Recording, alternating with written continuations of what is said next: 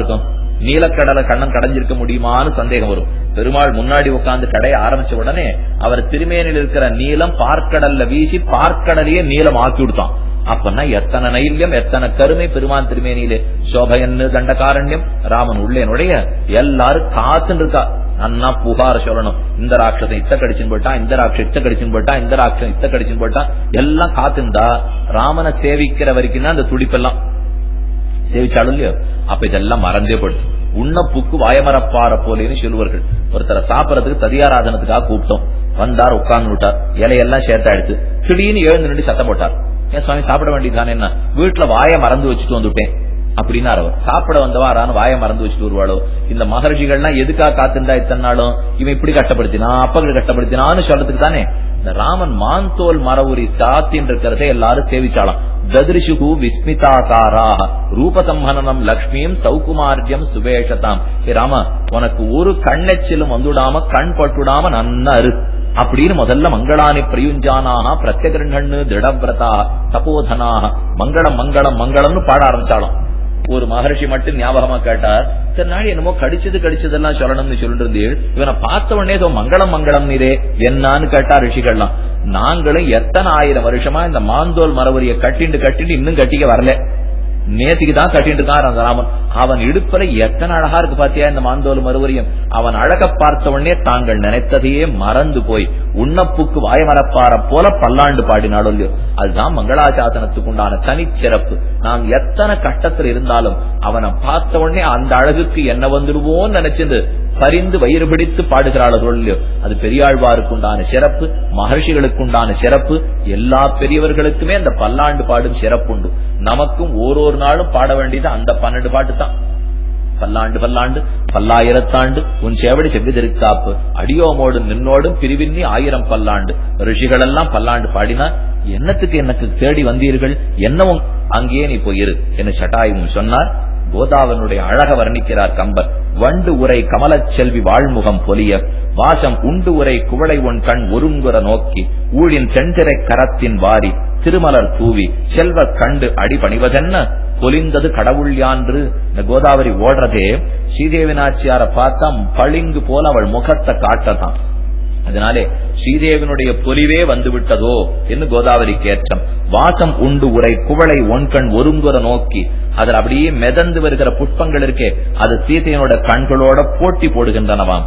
ஊழின் தென்திரை கரத்தின் வாரி அது அந்த புஷ்பங்களை தன்னுடைய அலைக்கரத்தால தள்ளி தள்ளி கொண்டு சீதையனுடைய திருவடிகளுக்கு புஷ்பத்தால பூஜை பண்றாப்புல கொண்டு சேர்க்கிறதாம் இந்த அழகையெல்லாம் கோதாவரி இடத்திலே கண்டுகொண்டே ராமனும் சீதையின் கதுகளை சென்றார்கள். லக்ஷ்மணனை பார்த்தான். இந்த இடத்துல நல்ல இடமா பார்த்து பர்ணசாலை கட்டு. என்று சொன்னான் பாவஜேன கிருதஜேன தர்மஜேன ச லக்ஷ்மண தயாபுத்திரேன தர்மாத்மா நசம்பிருத்த பிதாமம லக்ஷ்மணன் கிடுகிடு மூங்கில் செடி எடுத்தான் கயத்தெல்லாம் எடுத்தான் செடி கொடி தழை எல்லாத்தையும் வச்சு பர்ணசாலை கட்டி முடிச்சு விட்டான் ஒரு ஒரு உள்ளா போய் மேற்பார்வை பார்க்கனா ராமன் எப்படி கட்டியிருக்கான் பரதன் பார்ப்போம் இவன் ஏற்கனவே பர்ணசாலை ஒண்ணு பரதன் கட்டினா அப்பவே ராமன் பார்த்து கேட்டுக்கொண்டான் நானும் நீ வசிஷ்டாச்சாரிடத்துல ஒன்னாத்தானே காலக்ஷேபம் பண்ணிருக்கோம் ஆனா உனக்கு மட்டும் இது இத்தனை எப்படி தெரிய வந்தது? கிழியே கேட்டான்னு பார்த்தோம். இங்க இப்ப ராமனுக்கு ஒரே ஆச்சரியம். இந்த உள்ளு கட்டிருக்கான் சீத்தையும் ராமனையும் படுக்கை உள்ளு. இந்த இடத்திலே வந்தோர்களை உட்கார்ந்து பாக்குற உள்ளு. இது பூஜைக்குன்னு உள்ளு. இது தளிகைக்குன்னு உள்ளு. இது அமர்ந்து சாப்பிடறதுக்குன்னு உள்ளு. எல்லா உள்ளு இருந்தது. தனியா போனா இன்னொரு அறை கட்டி வச்சிருக்கானா லக்ஷ்மணன். அந்த இடத்துல சீதைய ராமனும் ஏகாந்தமா உட்கார்ந்து பேசறதுக்குன்னு ஒரு உள்ளு கட்டியிருந்தான். இத கட்டுன்னு சொல்லணும்னு ராமனுக்கு ஆசைதான். ஆனா சொல்றதுக்கு வெட்கமா இருந்துதான். அதனால சொல்லாம நிறுத்தினுட்டான். அவன் மனத்துல என்ன நினைத்தானோ அதையும் சேர்த்து கட்டுட்டான் லக்ஷ்மணன். அத கண்ட உடனே தான் ஆனந்தம் தாங்கல ராமனுக்கு ஏ லக்ஷ்மணா உன்னை தண்ணீர் பங்கல் வச்சுட்டு போறாப்புல எங்க தகப்பனார் வச்சுட்டு போயிருக்கார். நீ இருக்கிற வரைக்கும் நசம்பிருத்த பிதாமம. என் தகப்பனார் மறித்தார்னே நான் சொல்ல தேவையில்லை. எனக்கு தன் அவள் வாயிலே மூக்கிலும் ரத்தம் கொட்ட நேர ஓடினா ஜனஸ்தானத்துல இருந்தா கரதூஷ்ணாதிகள். அவள் இடத்துல போய் இப்ப ராமனை பத்தி சொல்லி போய் சண்டை போட்டு கொண்டுடுங்கோ என்ன சொல்ல வேண்டும் இந்த சூர்பனகை அவளும் மறந்து போயிட்டான் எப்படி இந்த தண்டகார நிவாசி மகரிஷிகள்னா ராமனை பார்த்த உடனே தங்க கட்டத்தை சொல்லிக்கிறதுக்கு மறந்தாளோ?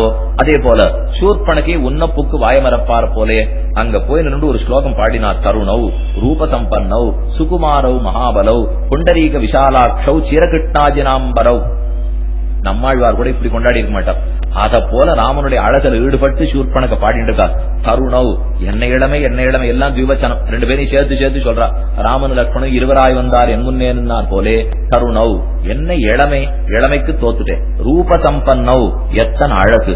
சுகுமாரவ் எத்தனை மென்மை. மகாபலவ் அதே சமயத்துல எத்தனை பலம். புண்டரீக விஷாலாட்சவ் எத்தனை அழகான தாமரக் கண்கள். சீரகட்டாஜினாம்பரவ் மாந்தோல் மலவுரி சாத்தி கொண்டு சேவை சாதிக்கிறான் ராமன் ராமனும் லக்ஷ்மணனும் இப்படின்னு ஓன்னு பேசிட்டு இருந்தா இந்த மாதிரி நல்ல வார்த்தை பேசி எல்லாம் கரதூஷணாளுக்கு தெரியவே தெரியாது.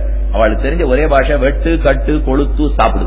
இது ஒண்ணுதான் அவளுக்கு தெரியும். இது என்னமோ தருணவ் ரூப சம்பன்னோ சுகுமாரோ மகாபலவுன்னா அவளுக்கு புரியல. என்ன கங்கே என்னமோ பேசிட்டுக்கே தப்பா? ஆற பத்தி பேசுறேன்னா. ஓ மறந்தே போட்டேனா அப்படிப்பட்டவாளை தான் நீங்க போய் இப்ப கல்லணும் அப்படின்னு கடைசியா முடித்தா பதினாலாயிரம் பேர் ஜனஸ்தானத்திலிருந்து புறப்பட்டு ராமனுடைய பொருள்வதற்காக சென்னார்கள்.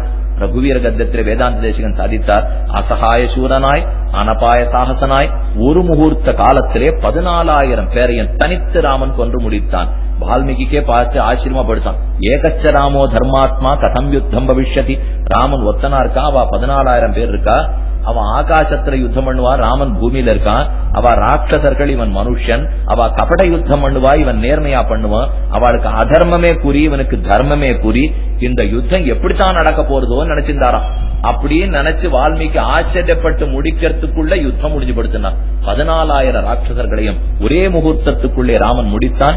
அதை காண்கிறாள் இப்ப சீதை. ஓட்டமா ஓடி வந்தாள். தம் திருஷ்டுவா சத்ருஹந்தாரம் மகர்ஷீணாம் சுகாவகம் பபுவ கிருஷ்டா வைதேகி கர்த்தாரம் பரிஷஸ்வஜே ராமனுடைய புண்களுக்கெல்லாம் இப்ப மருந்து போடணும். திருமேனி முழுக்க சல்லடக்கண்ணாக குழைத்த ரத்தம் பிரவகிக்க ராமன் நிற்கிறான். பார்த்த உடனே ரொம்ப ஆனந்தமா சீதைக்கு